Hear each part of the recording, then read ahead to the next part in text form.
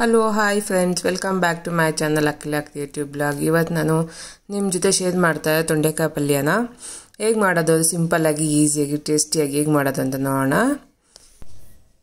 Stove ಮೇಲೆ ಬಾಂಡ್ಲಿ ಇಟ್ಟು ಅದಕ್ಕೆ ಎಣ್ಣೆ ಹಾಕಿ ಒಂದು ನಾಲ್ಕರಿಂದ ಐದು ಸ್ಪೂನ್ ಎಣ್ಣೆ ಹಾಕಿದ್ದೀನಿ.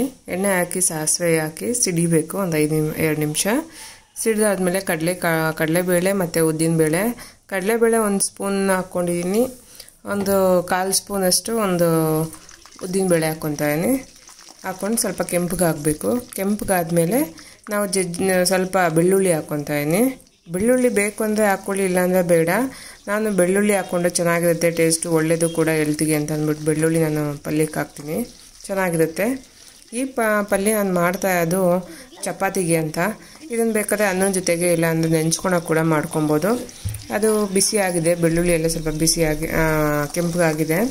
ಅದಾದಮೇಲೆ ಇವಾಗ ಈರುಳ್ಳಿ, ಹಸಿಮೆಣ್ಸಿನ್ಕಾಯಿ ಹಾಕ್ಕೊಂಡು ಎರಡರಿಂದ ಈರುಳ್ಳಿ ನಾನು ಎರಡು ಈರುಳ್ಳಿ ಈರುಳ್ಳಿ ತೊಗೊಂಡಿದ್ದೀನಿ. ಹಸಿಮೆಣ್ಸಿನ್ಕಾಯಿ ಒಂದು ನಾಲ್ಕೈದು ಹಸಿಮೆಣ್ಸಿನ್ಕಾಯಿ ತೊಗೊಂಡಿದ್ದೀನಿ. ಬೇಕು ಅಂದರೆ ನೀವು ಒಣಮೆಣ್ಸಿನ್ಕಾಯಿ ಕೂಡ ಯೂಸ್ ಮಾಡ್ಕೊಬೋದು. ಸ್ವಲ್ಪ ಫ್ರೈ ಆದಮೇಲೆ ಈರುಳ್ಳಿ, ಆಮೇಲೆ ಕರ್ಬೇವಿನ ಸೊಪ್ಪು ಹಾಕ್ಕೊಳ್ಳಿ ಕರ್ಬೇವಿನ ಸೊಪ್ಪು ಫಸ್ಟೇ ಹಾಕ್ಕೊಂಡ್ರೆ ಕಪ್ಪಗೆ ಆಗ್ಬಿಡುತ್ತೆ ಅಂತ.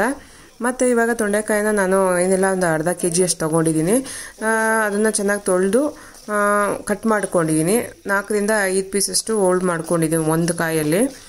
ನಿಮ್ಗೆ ಯಾವ ಸೈಜ್ ಬೇಕೋ ಆ ಸೈಜ್ ಕಟ್ ಮಾಡ್ಕೊಂಡು ಹಾಕ್ಕೊಳ್ಳಿ ತೊಂಡೆಕಾಯಿನ ನೀವು ಬೇಕಾದ್ರೆ ಹಾಗೆ ಎಣ್ಣೆಯಲ್ಲಿ ಕೂಡ ಫ್ರೈ ಮಾಡಿ ಮಾಡ್ಕೊಬೋದು. ಅದೇ ಒಂದು ಹತ್ತು ನಿಮಿಷ ಲೇಟ್ ಆಗುತ್ತೆ. ಇಲ್ಲ ಅಂದರೆ ಕುಕ್ಕರಲ್ಲಿ ಕೂಗಿಸ್ಬಿಟ್ಟು ಒಂದು ವಿಜಿಲು. ಆಮೇಲೆ ಹಾಕ್ಕೊಂಡ್ರೂ ಚೆನ್ನಾಗಿರುತ್ತೆ ನಿಮಗೆ. ಹೇಗೆ ಬೇಕೋ ಹಾಗೆ ಮಾಡ್ಕೊಳ್ಳಿ. ಬೇಗ ಬೇಕು ಅಂದರೆ ಕುಕ್ಕರಲ್ಲಿ ಕೂಗಿಸಿ ಹಾಕ್ಕೊಳ್ಳಿ ನಾನು ಹಾಗೆ ಎಣ್ಣೆಯಲ್ಲಿ ಫ್ರೈ ಮಾಡ್ತಾ ಇದ್ದೀನಿ ನೋಡಿ. ಇವಾಗ ಚೆನ್ನಾಗಿ ಎಣ್ಣೆಯಲ್ಲಿ ಫ್ರೈ ಆಗಬೇಕು ಒಂದು ಏಳರಿಂದ ಎಂಟು ನಿಮಿಷ ಚೆನ್ನಾಗಿ ಫ್ರೈ ಆಗಬೇಕು ಎಣ್ಣೆಯಲ್ಲಿ. ಚೆನ್ನಾಗಿ ಫ್ರೈ ಮಾಡ್ಕೊಂಡಾದ್ಮೇಲೆ ಒಂದು ಎರಡು ನಿಮಿಷ ಮುಚ್ಚಿಡಿ ಅದನ್ನ ನಾನು ನೋಡಿ ಇವಾಗ ತೆಗೆದು, ಅದಕ್ಕೆ ನಾನು ಒಂದು ಸ್ವಲ್ಪ ಒಂದು ಅರ್ಧ ಸ್ಪೂನಷ್ಟು ಅರ್ಶಿನ ಹಾಕ್ತಾಯಿದ್ದೆ ಅರ್ಶಿನದ ಪುಡಿ ಒಂದು ಅರ್ಧ ಸ್ಪೂನು. ಮತ್ತು ನಾನು ಮಾ ಚಿಕನ್ ಮಸಾಲ ಪುಡಿ ಏನು ಗರಂ ಮಸಾಲ ಪುಡಿ ಇರುತ್ತೋ ಅದೊಂದು ಒಂದು ಒಂದು ಸ್ಪೂನಷ್ಟು ಹಾಕ್ತಾಯಿದ್ದೀನಿ ಉಪ್ಪು ರುಚಿಗೆ ಎಷ್ಟು ಬೇಕೋ ಅಷ್ಟು ಹಾಕ್ಕೊಳ್ಳಿ ಹಾಕ್ಕೊಂಡು ಚೆನ್ನಾಗಿ ಮಿಕ್ಸ್ ಮಾಡ್ತಾಯಿದ್ದೀನಿ ನಿಮಗೆ ಗರಂ ಮಸಾಲ ಪುಡಿ ಇಲ್ಲ ಅಂದರೆ ಚಿಕನ್ ಮಸಾಲೆ, ಗರಂ ಮಸಾಲೆ ಅದು ಇಲ್ಲ ಅಂದರೆ, ಖಾರದ ಪುಡಿ ಒಂದು ಸ್ಪೂನ್ ಹಾಕ್ಕೊಳ್ಳಿ ಒಂದು ಸ್ಪೂನು ಧನಿಯಾ ಪುಡಿ ಹಾಕ್ಕೊಂಡು ಮಿಕ್ಸ್ ಮಾಡ್ಕೊಳ್ಳಿ. ಮಿಕ್ಸ್ ಮಾಡಿಕೊಂಡು ಚೆನ್ನಾಗಿ ಫ್ರೈ ಮಾಡ್ಕೋಬೇಕು. ತಳ ಹಿಡಿಯುತ್ತೆ ತಳ ಹಿಡಿದಿರೋ ಥರ ಫ್ರೈ ಮಾಡ್ಕೊಳ್ಳೋದು ಒಂದು ಎರಡು ನಿಮಿಷ. ಮಾಡಿಕೊಂಡು ಒಂದು ಒಂದು ಗ್ಲಾಸ್ ಎರಡು ಗ್ಲಾಸ್ ಅಷ್ಟು ಎರಡು ಗ್ಲಾಸ್ ಇಷ್ಟು ನೀರು ಹಾಕಿ ಚೆನ್ನಾಗಿ ಮಿಕ್ಸ್ ಮಾಡಿ ಮುಚ್ಚಿಡಿ. ಎರಡು ಗ್ಲಾಸು ಅಂದರೆ ಟೀ ಕಾಫಿ ಕುಡಿತೀವಲ್ಲ ಚಿಕ್ಕ ಗ್ಲಾಸು ಅದರಲ್ಲಿ ಎರಡು ಗ್ಲಾಸ್ ಹಾಕ್ಕೊಂಡು ಚೆನ್ನಾಗಿ ಬೇಯಿಸಬೇಕು. ಮುಚ್ಚಿಟ್ಟಾಗ ಆಗಾಗ ತೆಗೆದು ನೋಡ್ತಾ ಇರಬೇಕು ಇಲ್ಲಾಂದ್ರೆ ತಳ ತಳ ಹಿಡಿಯುತ್ತೆ ಅದು. ಸಿ ಸಿಯುತ್ತೆ. ಹಾಗೆ ಮಾಡಬೇಡಿ. ಆವಾಗವಾಗ ಚೆಕ್ ಮಾಡ್ತಾ ಇರಿ. ನೋಡಿ ಚೆನ್ನಾಗಿ ಬೆಂದಿದೆ ಇವಾಗ. ರೆಡಿ ಆಗಿದೆ, ಚೆನ್ನಾಗಿ ಬೆಂದು ಸ್ಮೂತ್ ಆಗಿದೆ ತೊಂಡೆಕಾಯಿ ಎಲ್ಲ ಇವಾಗ ಸ್ಟವ್ ಆಫ್ ಮಾಡಿಕೊಂಡು ಕೊಬ್ಬರಿ ಏನು ತುದ್ಕೊಂಡಿದ್ದೀನೋ ಆ ಕೊಬ್ಬರಿನ ಹಾಕ್ಕೊತಾ ಇದ್ದೀನಿ ನಾನು. ಒಂದು ಅರ್ಧ ಕೊಬ್ಬರಿ ಬಟ್ ಕೊಬ್ಬರಿ ಅಷ್ಟು ಹಾಕ್ಕೊಂಡಿದ್ದೀನಿ ಕೊಬ್ಬರಿ ಹಾಕ್ಕೊಂಡ್ರೆ ಟೇಸ್ಟ್ ಕೂಡ ಚೆನ್ನಾಗಿರುತ್ತೆ. ಕೊಬ್ಬರಿ ಬೇಕು ಅಂದರೆ ಆಪ್ಷನಲ್ಲು ಬೇಕು ಅಂದರೆ ಹಾಕ್ಕೊಳ್ಳಿ ಇಲ್ಲ ಅಂದರೆ ಬೇಡ. ನಾನು ಕೊಬ್ಬರಿ ಇರೋದ್ರಿಂದ ಹಾಕ್ಕೊತಾ ಇದ್ದೀನಿ. ಸ್ವಲ್ಪ ಕೊತ್ತಂಬರಿ ಸೊಪ್ಪು ಹಾಕ್ಕೊಳ್ಳಿ ನಾನು ಕೊತ್ತಂಬರಿ ಸೊಪ್ಪು ಇಲ್ಲ ಅಂತ ಹಾಕಿಲ್ಲ ಅಷ್ಟೇ.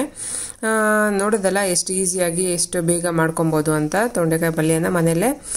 ನೀವು ಟ್ರೈ ಮಾಡಿ ನೋಡಿ ಹೇಗೆ ಹೇಗೆ ಬಂದಿದೆ ಅಂದ್ಬಿಟ್ಟು ನನಗೆ ಕಮೆಂಟ್ ಮಾಡಿ ತಿಳಿಸಿ. ನಾನು ಇದನ್ನು ಚಪಾತಿ ಜೊತೆಗೆ ನೆಂಚ್ಕೊಳಕ್ಕೆ ಅಂತ ಮಾಡಿದೆ. ನೀವು ಬೇಕು ಅಂದರೆ ಇದನ್ನು ಅನ್ನದ ಜೊತೆಗೂ ಹಾಕ್ಕೊಂಡು ತಿನ್ಬೋದು. ಇಲ್ಲ, ನೀವು ಸೈಡ್ ಡಿಶ್ ಆಗಿ ಕೂಡ ಯೂಸ್ ಮಾ ಟ್ರೈ ಮಾಡ್ಬೋದು. ನೋಡೋದಲ್ಲ ಹೇಗೆ ಮಾಡೋದು ಅಂತ. ನಿಮಗೆ ಈ ವಿಡಿಯೋ ಇಷ್ಟ ಆಗಿದೆ ಅಂದ್ಕೊತೀನಿ ಇಷ್ಟ ಆಗಿದೆ ಲೈಕ್ ಮಾಡಿ ಶೇರ್ ಮಾಡಿ ಕಮೆಂಟ್ ಮಾಡಿ ಸಬ್ಸ್ಕ್ರೈಬ್ ಮಾಡ್ಕೊಳ್ಳಿ. ಥ್ಯಾಂಕ್ ಯು ಸಿಗೋಣ ನೆಕ್ಸ್ಟ್ ವಿಡಿಯೋದಲ್ಲಿ